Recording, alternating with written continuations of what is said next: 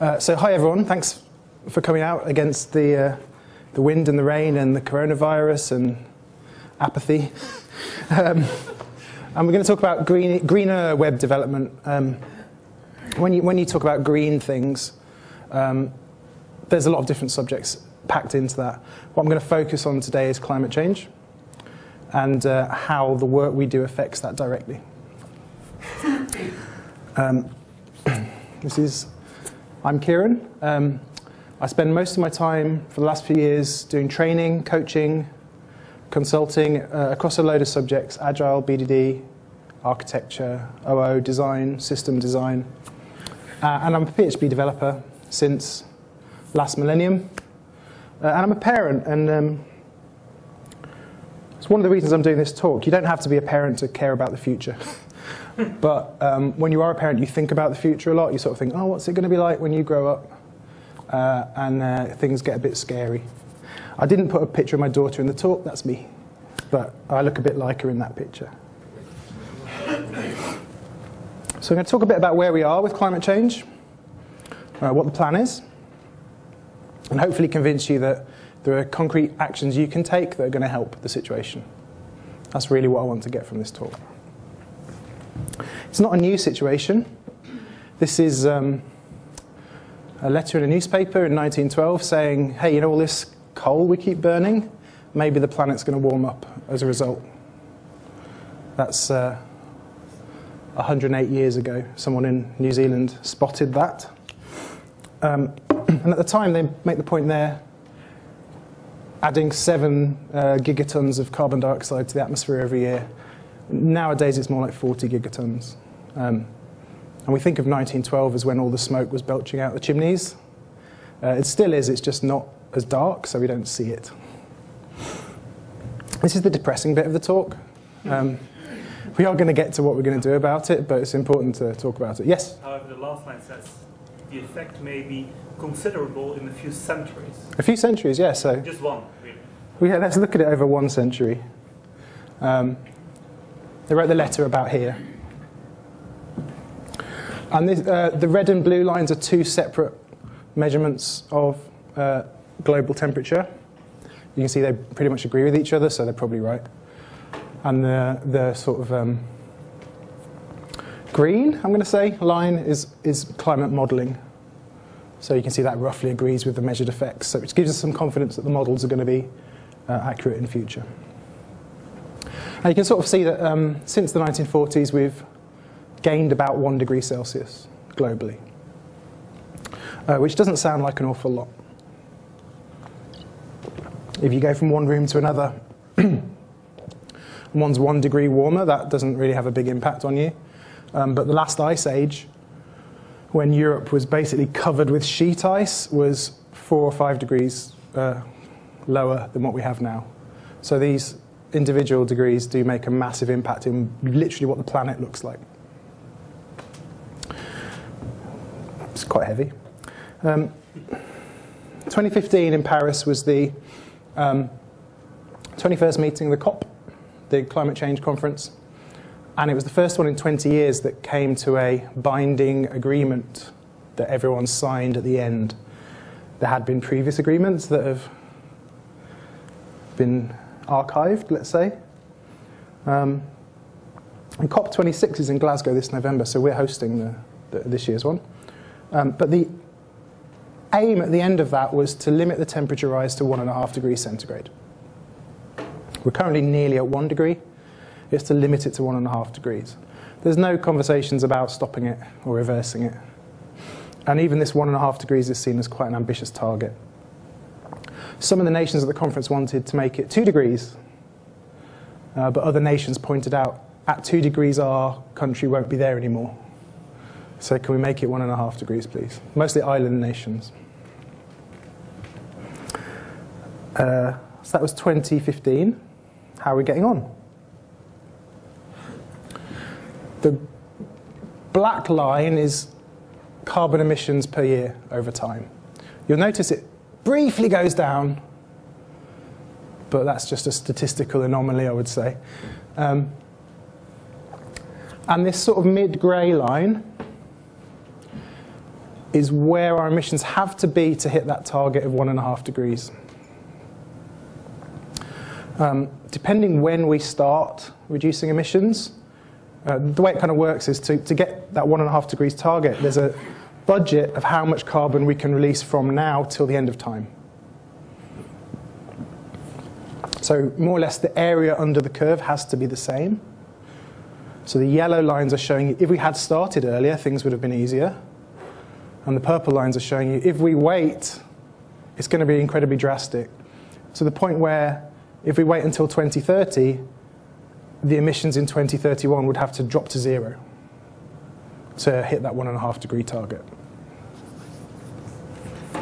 Um, so we need to start. It needs to start reducing now by about 6% this year, and then continue reducing by the same amount every year until we get to this nice tail off.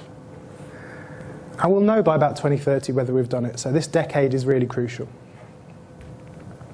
We could have started in 1980, by the way. I was, um, I was like 12 years old in 1990, and I knew about global warming. I'd read about it in the newspaper. I'd read about it in New Scientist. People knew it was happening. the IPCC is an international group um, set up by um, the UN and the World Meteorological Organization as a forum for sharing basically scientific consensus. 195 countries are members of this. And in 2018, they released this report. It's the special report SR15, which is the special report about one and a half degree Celsius. And it basically tells you what a one and a half degree hotter planet is like. they split it into these four categories. There's a lot of qualitative text analysis in there. It's a really long document. You can read it for free. Um, and in each category, they, um, they basically explain the risk with this color code against the temperature rise. So we're currently here. So a lot of these measures are yellow, which is moderate risk.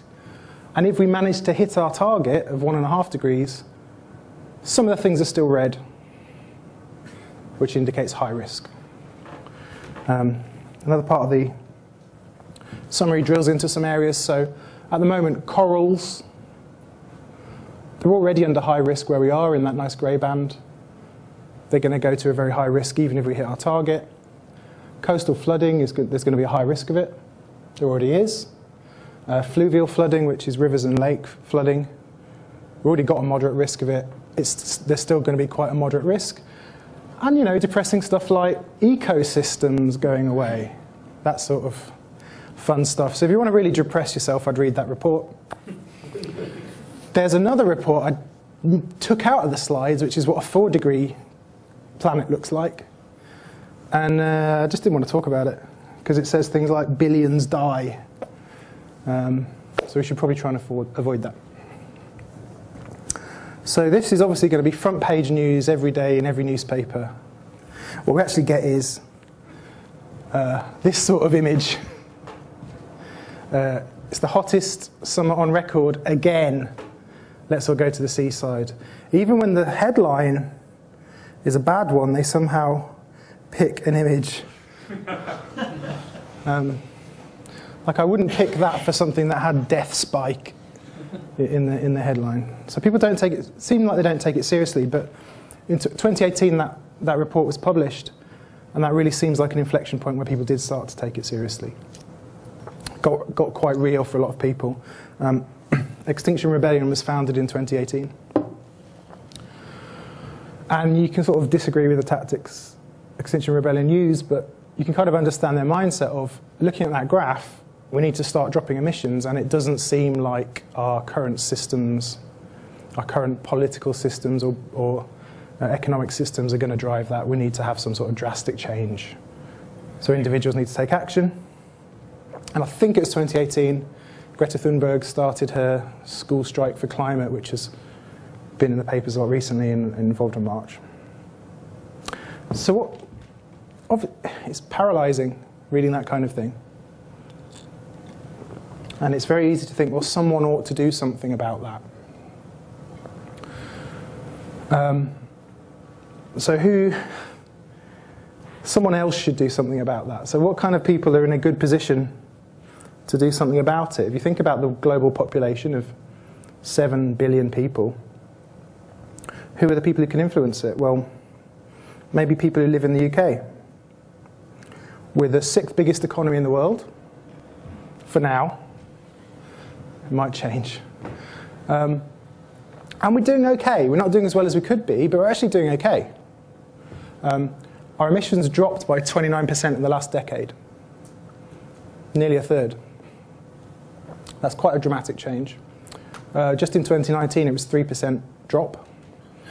And if you're an optimist and think this is something that steamrollers and actually increases over time, then that 3% drop could, the decarbonisation of our economy could pick up steam and be like a hockey stick and we get to net zero really fast if we put time and effort into it.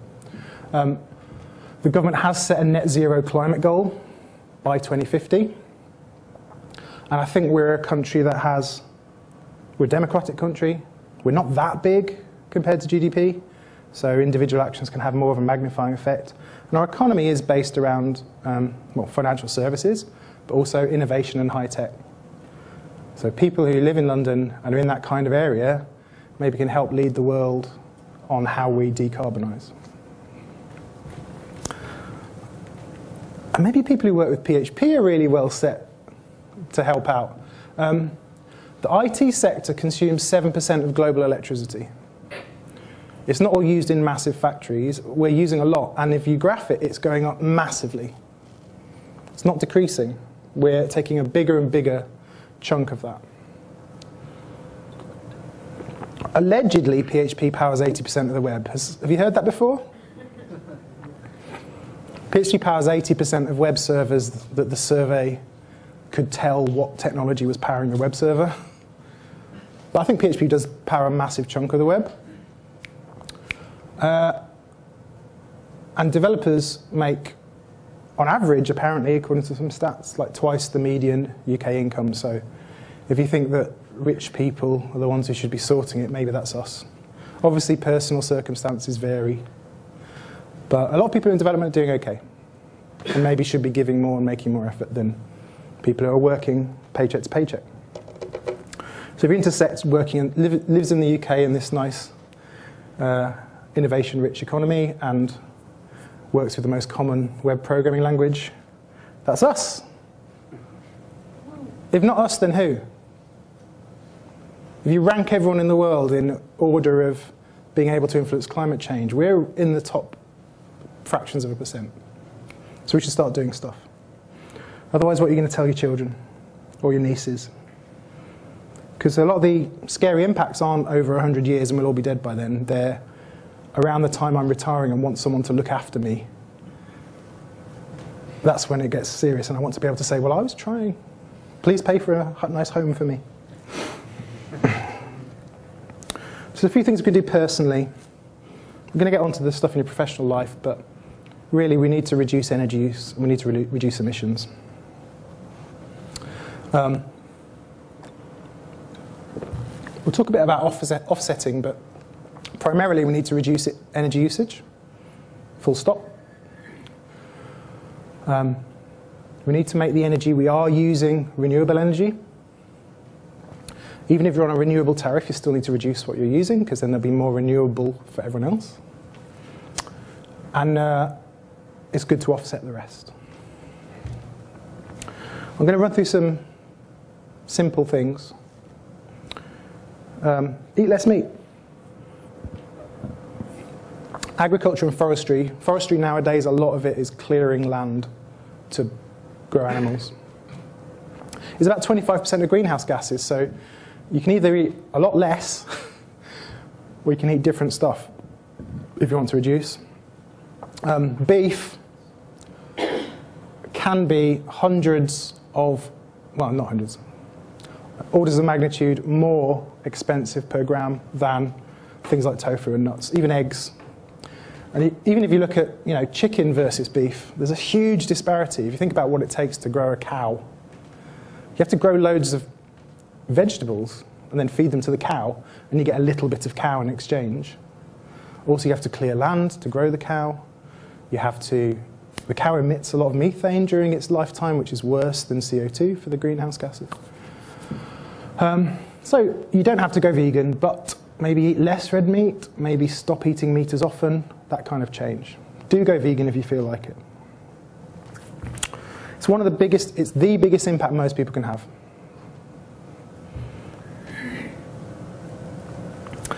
Um, shift your energy supply.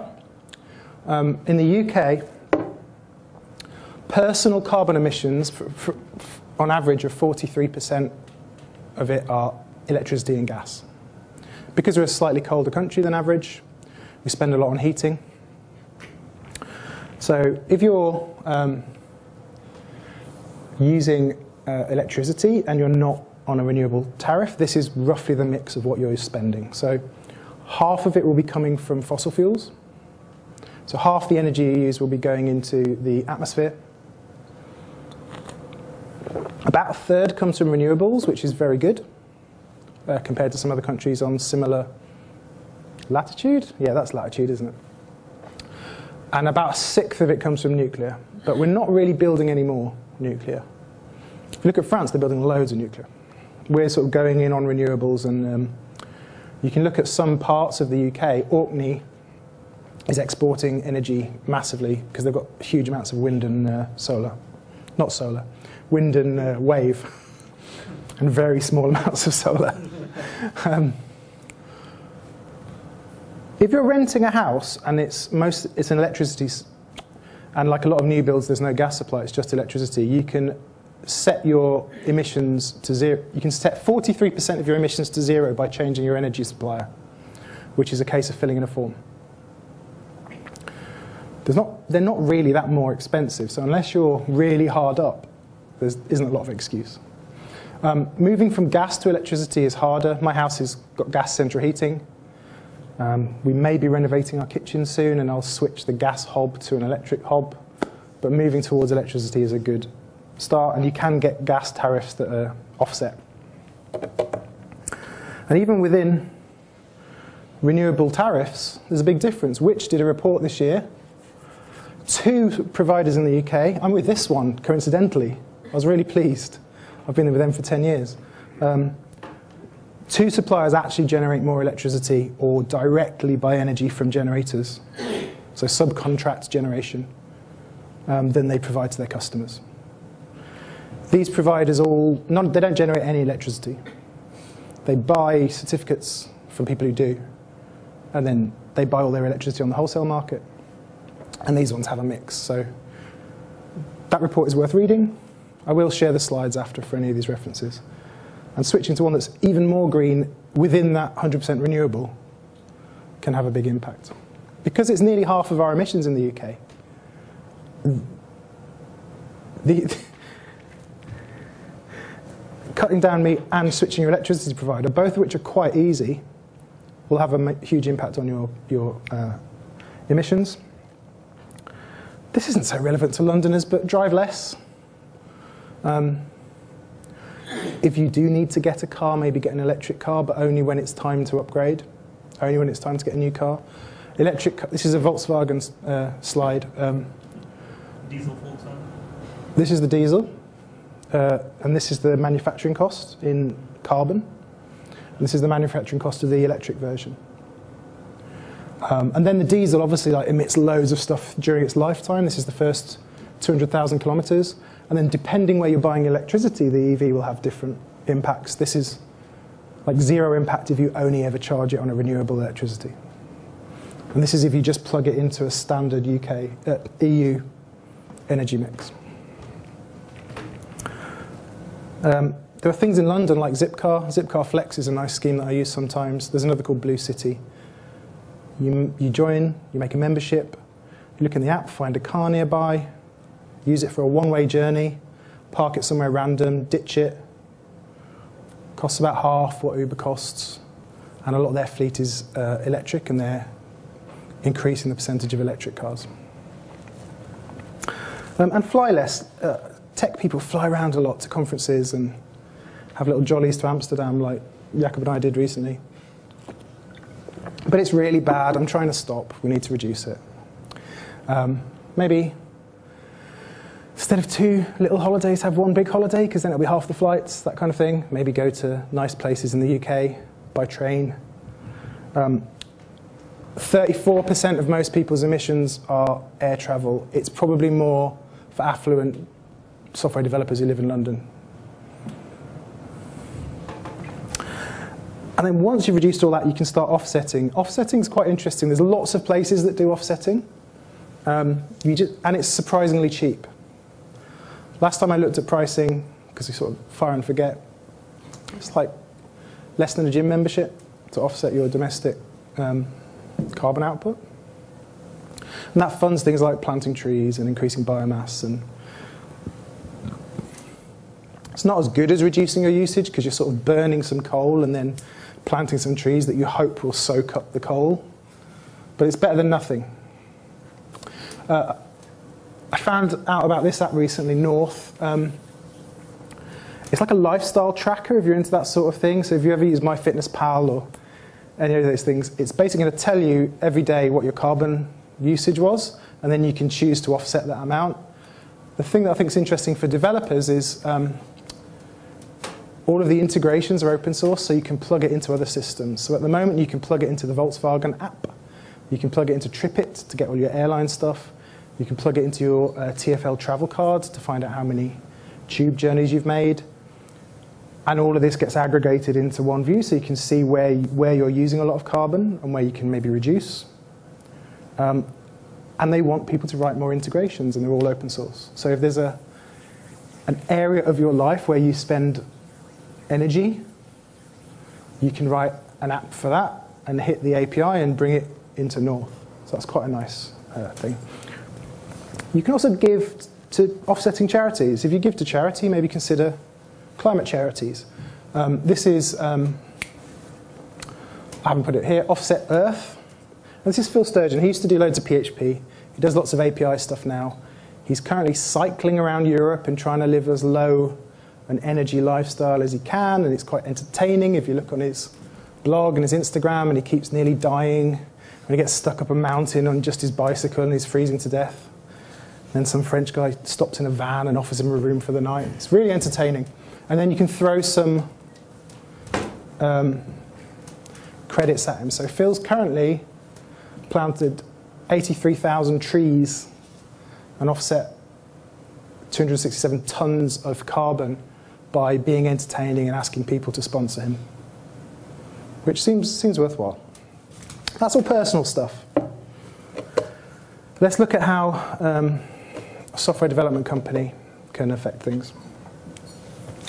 The main thing you can do in your organization is help the organization start to care, start to care about their emissions. Most organizations won't measure that stuff if they can get away with it. But most of the time, you can measure carbon emissions in quite a fuzzy, guesstimatey way, uh, because that's how everyone does it. It's all, it's all a bit of a black art. There's this nice blog post from um, Wholegrain Digital.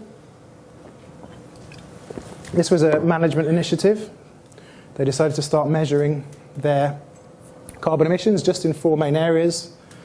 Uh, the blog is interesting to read how they did it because they do have to obviously make assumptions, make estimates, try and ballpark things. And they produced this kind of dashboard of where, what their emissions look like, and they started graphing it over years. And then, just by the act of surfacing it and reflecting it back and saying this is where we're at, they found they started to reduce it by saying maybe we don't need to spend so much on travel, or maybe the colours don't correspond. maybe we can cut down this area. Actually, it's surprising that that amount ha happened. Um, on one of the climate slacks, there's an interesting conversation where the guy said, we realized that taking the video off the homepage would have more of an effect than cancelling the staff travel.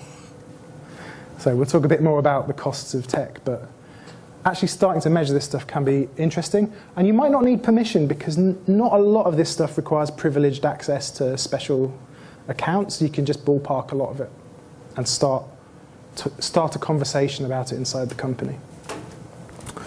Um, something else to look at is your supply chain. Um, This is a Wardley map, which I'm not going to go into, but um, a guy called Paul Johnston um, has talked about using this kind of map to map carbon uh, emissions.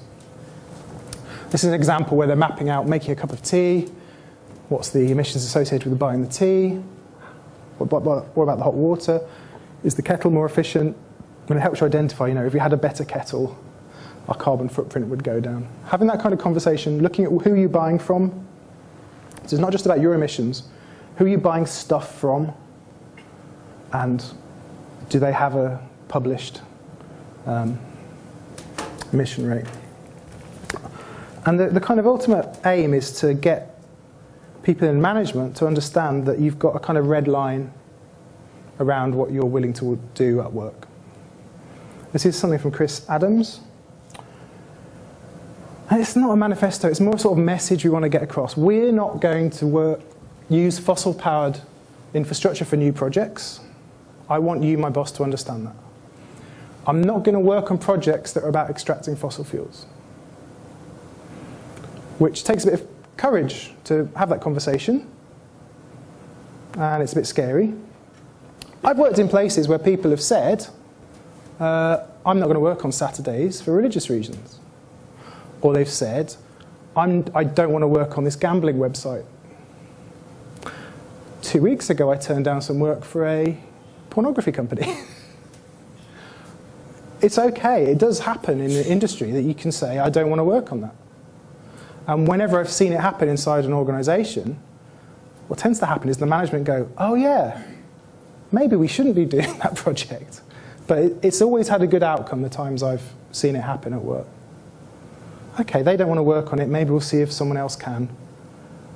Oh, it turns out no one wants to work on it. Maybe we're the bad guys. and maybe we shouldn't be accepting that project. So obviously you, you can't do this on your own easily. Um, you need to find allies inside an organization. So uh, starting a Slack channel to talk about this kind of issue, having a meeting at lunchtime, you can start to sort of self-organize. There's an image missing. um, you'll hear things like businesses are here to make money, not save the planet. Uh, our margins are too tight to even think about this stuff. There's a great guide at climateoutreach.org. The cover would be here. Um, it's got a sort of talking how to have that conversation, um, and it emphasizes not talking about these ideals of like in 100 years' time we'll all be underwater, but talking about being more efficient, reducing waste, connecting it to real initiatives in other companies that had good outcomes. So there's some good resources there. Inside larger organizations, um, you need to be more organized. Who's in an organization with more than 1,000 people in? Okay. A great example is Amazon. Um, Amazon have a Amazon Employees for Climate Justice group that was self-organized inside the company. And they wrote this open letter in April with over 8,000 Amazon employees signed it, saying we don't agree with how the company is operating in certain areas. We think we should be reducing our carbon. And it had some quite specific aims in it. Um, they've also got a great Twitter presence. They're constantly reacting to things Amazon are doing in the public. And they're managing to do it in a way that isn't getting them all fired. um, and actually, uh, Amazon recently pledged to reach net zero emissions by 2040. And uh, most commentators have said this employee action has been a strong driver. I, yeah, I'll talk more about Amazon later. Techie stuff, right. Why do we care? Why are we placed, apart from this generic, you know, help our companies, developers have a louder voice in companies than a lot of other employees in other sectors. So you can influence your organization. Developers have all the power because they can not write the code and then everything falls apart. Um, here's an interesting stat from this report, State of Data Center Energy Use. All data centers require power, currently 2% of the world's electricity, that's in 2018. This puts data centers at the current energy consumption levels of the aviation industry, so if you're criticizing people who fly aeroplanes for a living, for working in a sort of sector that's killing the planet, we're on a similar sector. We're in a similar sector. That's a bit awkward. And the difference is that the energy use of the aviation industry is increasing slightly. The energy use of our industry is massively increasing over time. So in 2018, they're expecting it to exceed aviation by two to four times in the next four years. Well, in the next six years from when they wrote it. So yeah, maybe we're the bad guys. So what can we do? Um, something Derek mentioned in his talk last time. Um, um, if you're on PHP 5, PHP 7 is about twice as fast. You can have half as many servers. If we're talking about this in the context of the environment, you can emit half the amount of emissions, half the carbon can go in the atmosphere if you upgrade to PHP 7. According to a talk uh, Rasmus did, he included some stats. This is at PHP Benelux. He said if, if all those servers, about half of PHP servers are on PHP 5, which is insane. Um, if they're all converted to PHP 7, we'd re reduce global web server emissions by 7.5 million tons of CO2 a year, which is a lot. We also need to look at better process utilization. How do we use those resources better? So there's lots of things we could be doing around profiling, around upgrades, PHP 7 preloading will get us another 1%, maybe. Um, but that's 1% less emissions going into the atmosphere, and we only need to drop it by 6% a year. So it sounds like a good thing to do, right? But we don't think about it in that context. We think about it as performance, and we, we put it on the back burner and it's down in the backlog. If we're taking carbon emissions much more seriously, the development team would say this is something we have to be doing. We need to be reducing the number of cycles it takes to serve this website. You do have to be aware of this paradox, Jevons paradox. He noticed that when James Watt introduced his better steam engine, the coal usage in the UK went up. You would think that a better steam engine would mean that coal usage would go down. What happened was more people got steam engines. So we have to be careful that while we're making our things more efficient, we're not also massively scaling them up. So counting our overall carbon output is still important, as well as carbon output per customer or carbon output per pound we make. Outside of individual server efficiency, we need to look at how our whole infrastructure works. So this is a graph I did really professionally. Um, of how, like, you know, traffic to a website over the day, resource usage of the website over the day, how much we need. And back in the 90s, we used to buy a big web server and put it in a rack, and it would be sitting there all day with the fans whirring, and it would have enough capacity to serve all the traffic we needed. And we'd think that was a good situation because what we're trying to optimize is can we serve the amount of traffic we need to serve at peak time? Um, if you're thinking more about emissions, this red area is really bad because it means it represents unused capacity that we, we burn stuff and put it in the air without needing to. If you've got a sort of nice DevOps culture and you've taught yourself a load of Kubernetes and it doesn't crash all the time and no one brings down the whole grid constantly, so you've got good at it, you can have a nice auto-scaling approach where as soon as resources start to reach some threshold, more stuff gets provisioned, nice in advance, and the actual capacity much better matches the uh, required capacity, which requires an investment, and you have to sell that into management. You have to say, we could get by with fewer servers if we all go on this Kubernetes course and we break it a few times while we're learning what to do. And of course, the dream of serverless is that you outsource that knowledge to a cloud provider. So you say, I don't, I'm not going to learn how to auto-scale things. I'm just going to use this cloud service that auto-scales for me. And it becomes uh, Amazon or Google or Microsoft's problem to solve. But they've got loads of people, and they're solving it across loads of sites, so maybe it's going to be a it's going to be a great economy of scale there. So how do you convince your boss? Well, there's a great selling point is that it's better for the environment, but also it's going to cost less. If we don't have all this reserved capacity, you see this more and more in cloud pricing as well, especially serverless pricing. The cloud providers want you to pay just for what you use because they want to snatch that capacity off you to give to the other customers. So generally, when you're looking at some sort of project to auto-scale your clusters or a project to move to serverless, there's also some big dollar amount or pound amount that you can attach to the project and say, this is going to save us this much a year. We should do it. And then you can secretly be thinking, ha ha ha, we'll also save the planet.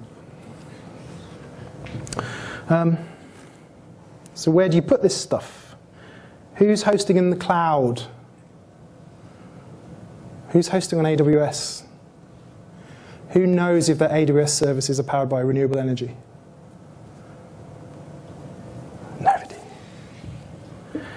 So AWS has five special regions that are 100% renewable, and the rest are not. Um, the ones in Europe are Ireland and Frankfurt. So if your services are coincident, this is just on a page on the Amazon site, it's not secret. Um, if your services are there, you, they're 100% renewable, which includes offsetting. If they're anywhere else, they're 50% or less renewable energy. So I don't know in your organization how important the region is, or how much management even know what region things are running in, but maybe you can just move it all to the renewable energy ones without anyone noticing. They're a bit pricey Hmm? They are a bit pricey. Well, I'm not saying it's a problem. Amazon make it so hard to find out what you're paying for that it's fine. And at MapCamp this year, Adrian Cockcroft, who works for AWS, was talking a bit about this, and he said Amazon have this sort of philosophy that everything they do is driven by the customers. So he said, if you want to see more renewable energy use at Amazon, you should push your services into these data centers, into these regions, sorry. I mean, that's another way of saying Amazon have no morality of their own, and they're just following what what, what, what you want to do. But um, the reason I'm singling out Amazon is they're 32% of cloud provision. Azure is in second place on 18%. So Amazon are the big game in town, and they're actually one of the worst for renewability. So another thing to consider, the report I mentioned earlier, had the quote from, this is the link to it. It's worth reading. Rates the different cloud providers by how uh, renewable they are. Um, Amazon gets a C minus because they only have this limited set of regions. I don't know why that says for. I was trying to find out this morning. But they only have renewable energy in a few regions. The others are 30 to 50%. They've got some commit- recent commitments I mentioned to get to net zero, but it's unclear how that's going to happen. Um, so that's why they get a sort of C minus rating on their renewability. In contrast, Google are at 100% renewable everywhere. Um, and Azure is 100%, that includes offsets, but they very recently, maybe a month ago, made a commit, Microsoft as a whole have made a commitment to um, get carbon negative by 2030. And they want to get carbon negative across their entire supply chain by 2050. That means everyone they buy from, they're going to include that in the accounting and they're still going to be carbon negative. Um, so if you're going to launch something tomorrow, Azure is probably the, the greenest option. Failing that, G- Google Cloud, failing that AWS in one of their renewable regions. You have to balance that against the knowledge you have of what services are available and team understanding. If you're not hosting in the cloud, this is a good resource. The Green Web Foundation, they basically ask um, hosting providers to prove that they're green. Um, so there's a directory of which hosting providers are powered by renewables. You can also then type in a random domain and uh, it'll tell you whether it's green hosting or not. I'll let you try that yourself. Um, and they'll say it's either like this is green, this is not green, or we don't know. It's kind of based on IP ranges and stuff like that. So the last thing I'm going to talk about. And maybe the unexpected thing is bandwidth costs, because it's not something we think about when we're thinking about energy usage. Um, so this is the stat I found surprising. to serve a website, 30% of the emissions come from the data center. 42% comes from the browser, often a mobile phone nowadays. 28% comes from all that stuff that's in between the data center and the browser. So a third of the emissions are coming from, you can control the energy mix of your data center. You can't really control the energy mix of your users. And you can't really control the energy mix of all of those hops. This is the Virgin Media cabinet at the end of my road that's always open. You can't really control their energy usage. Although this one, you, there is a power switch in here that you could just switch the street off if you wanted to. And I keep tweeting them about it. You'd have the emissions from the van that comes to on. Yeah, the van, diesel van comes along. So looking at this, right? If we halved the page size of all of our pages, we'd reduce 14% of our emissions. But people don't really op- optimize for page size. Um, some people do. But it's, it's often a low priority thing down the stack because you sort of say, well, if the page takes two seconds to load, no one cares. You know, users are happy enough. But if we're thinking about the emissions, it's having a massive effect on the emissions. We can optimize our data center by writing smarter code, hosting it somewhere green. We can optimize the network by, we can optimize the user devices by having less computationally intensive stuff and not serving super compressed images that then have to get massively uncompressed. Just don't serve the image at all. Um, we can control how much data we're pushing down the pipe to customers. One of my recent projects was a site speed optimization. It wasn't for green reasons, but it was for uh, you know, other reasons. Another surprising one. Mobile's even worse. 3G takes 15 times more energy than wired. 4G takes 23 more times more energy than Wi Fi, which is ridiculous. Is 5G going to be more energy efficient? I doubt it. It makes sense because to talk to a mobile, to talk to my router in my house, a, a signal goes along a, a fiber, then to the cabinet, then to a cable that goes to my house. Whereas to get to my phone, I have this thing on the roof that spams it out in every direction in high powered radio and tries to work out where your phone is. The sort of counterintuitive thing is that we, as mobile bandwidth gets better, we're trying to use it. We're making the most of it. We're saying, oh, and 5G's here.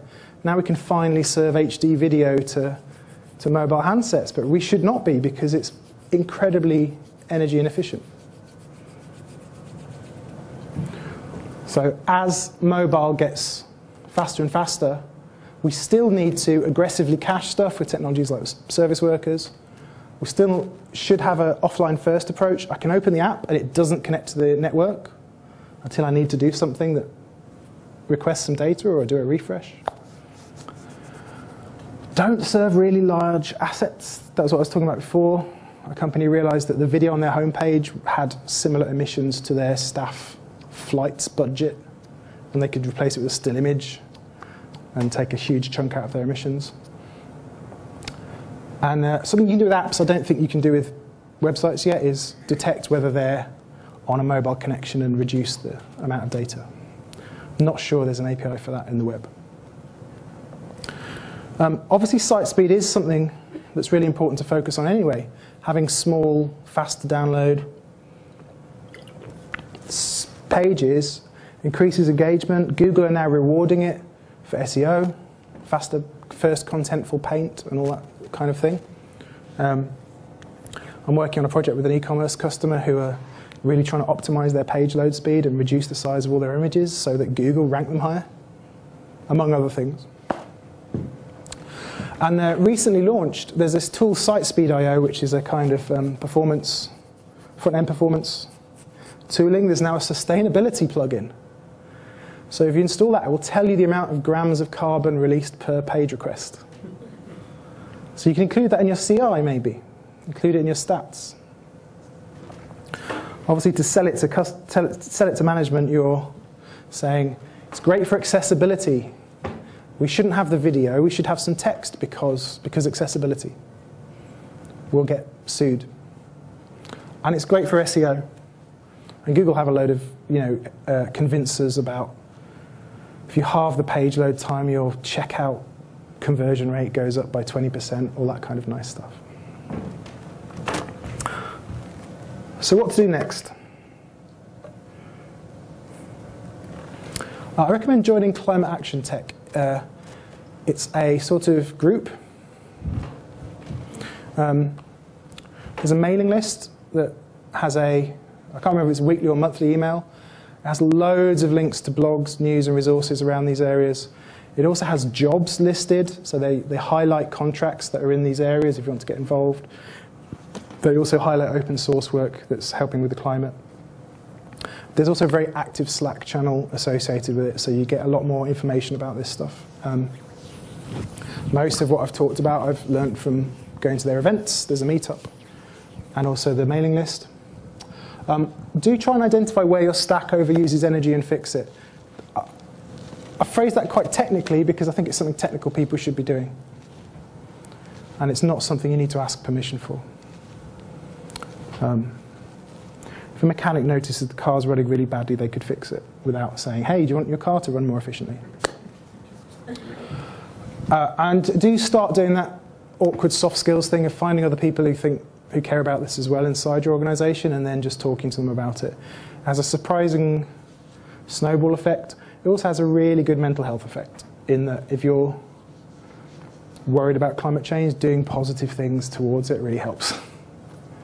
Uh, so that's been me. Thank you.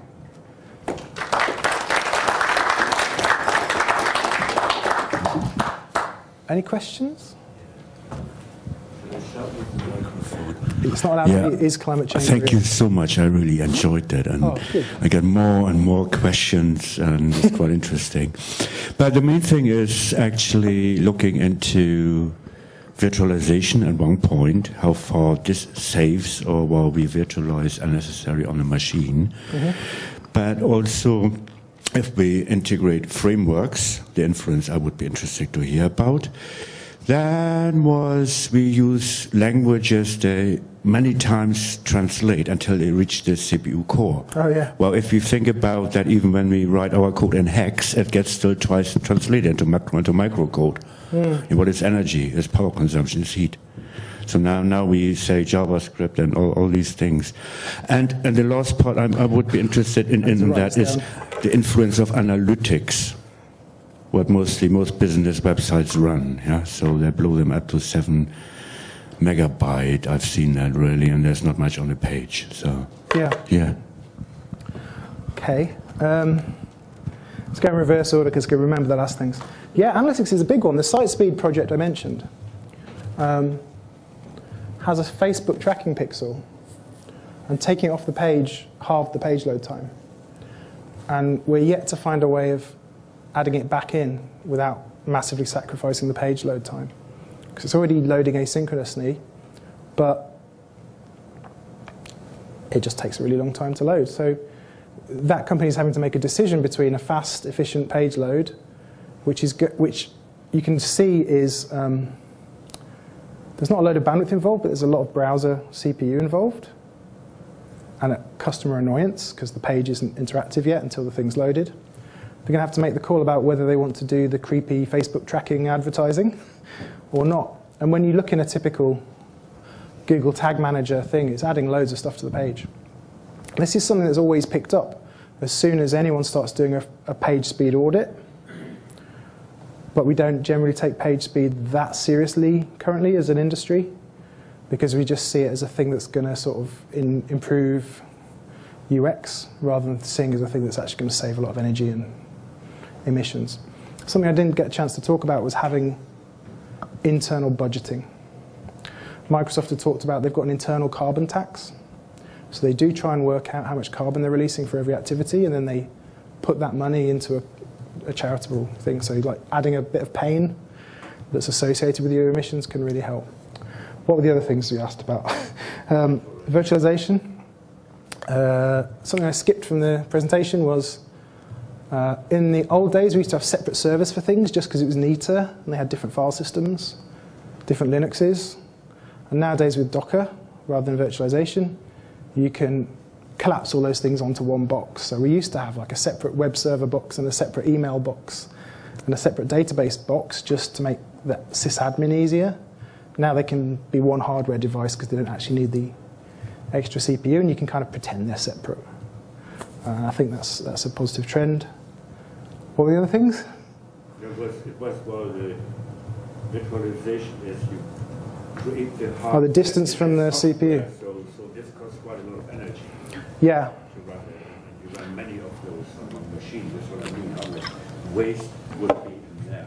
yeah. Ideally, we'd all be writing um, assembly. With having the fans spinning. And I think a positive thing is the rise of Rust and Go uh, in, in, in web development because they're both more efficient but have other problems. But Go itself can make a really efficient container. Um, it's not the question, it's more like uh, something in plus to your talk. Okay. Um, you mainly talk about the energy use of our websites and stuff like that, but uh, I think sometimes we should think about even our water use or, or like the amount of plastic that we use because a lot of that uh, goes into ocean. Uh, I just underline the fact of water use. For example, the United Emirates they uh, they use more um, petrol to produce water. W- That's why the water is very expensive there. So it's not just about the things that we can do in electricity. I think it's more about the small things that we can do in even in the other parts. Yeah, I think um, uh, it, it, that's very important, and um, it- it's maybe less for this audience, but having people inside a company who can advocate um, looking at where we're, what we're using in our office. I mentioned it briefly on the, the this thing. Um, where are we getting our tea from? Where does the kettle come from? Having that kind of awareness inside a company and having a sort of commitment to account for it is really important. And that, bring, that suddenly surprises you with these things like, hang on, why is the water so big? And you realize you're buying it from the one supplier who runs a petrol generator to purify things.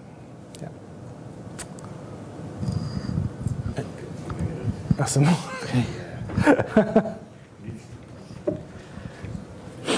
Okay, I think we'll have a couple more questions. So yeah, it's it's more about okay. We say carbon footprint. This is dirt, but with all the batteries we create, yeah, uh, lithium, don't we put probably the dirt from the carbon into lithium? So well, we get batteries everywhere in our cars, and you know what I mean. Yeah. What's um, your view on that? car batteries are really expensive to make.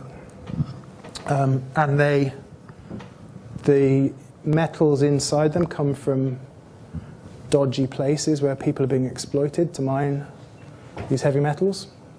So if you look at the supply chain for a, for a lithium ion battery, uh, you'll almost inevitably find some human rights abuses. So you've got to balance that against carbon output, of course, and that's one of the reasons the cost is quite high.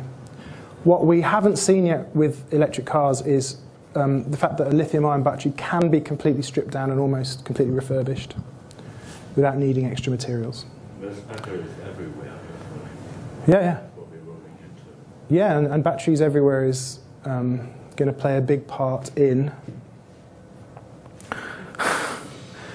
helping this energy mix.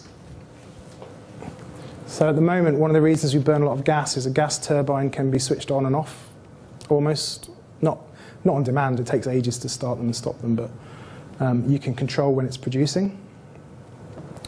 Um, you can't control when or the renewables are producing. So um, there's some investment just been announced in a 10 terawatt hour battery storage facility in Oxfordshire.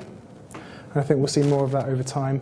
Interesting thing there is they can use um, depleted electric car batteries that maybe are only running at 80% efficiency, and you can use them as part of a battery energy storage system uh, near a town to iron out the fluctuations of renewables and provide a constant power supply. So I think that's a very interesting area in the future. There's, there are some battery technologies on the horizon, but it's never good to speculate about stuff that doesn't exist yet. Yeah, just on that battery thing. I think Tesla were were looking at something in Australia. Tesla put in a big battery plant in Australia Yes, to massive, help yeah. their Yeah. droughts, Yes. um, and a lot of that was ex-Tesla Yes. batteries. Yeah. Uh, okay, I think we've got one last question. Uh, we'll do the raffle, and uh, Cool. I'm sure Ciaran will be the pub. I've got two sort of questions, I suppose, or interlinked questions. One positive, one slightly negative. Sure. How do you feel about the? Do you think fusion is likely to help us in any way in the near future? But on the other side, um, the question is: um, the UK produces about one percent of carbon emissions, um, which is a tiny fraction compared to places like China. Um, how do how do you feel those two issues relate to this topic you've talked about tonight? Um, fusion power is really promising, but it's been 20 to 30 years away since the 1950s. There's no prospect of getting working fusion power before uh, climate change hits us. So it's not, it's not a short-term strategy we can take. We can hope that if we get to one and a half, if we manage to achieve one and a half degrees um, temperature increase, and most of us live through it, we might then get fusion power it's not going to save us in the short term. Similarly, building new nuclear plants, the lead time is so much, it's not, it's not really going to get us through what we're facing in the next 20 years. The thing about um, the um, net contribution of Britain to emissions is that there's loads of people in China. There's more than a billion. If you look at the emissions per capita, the US is obviously winning, and then next is Europe. If you look at historical emissions and you know colonialism, we're way ahead. We're way ahead of everyone else by orders of magnitude. So we need to do something about it. Think we've got a moral responsibility there. We can't um, spend a century churning out coal and then say, well, it's China's problem. That's what I think. Thanks.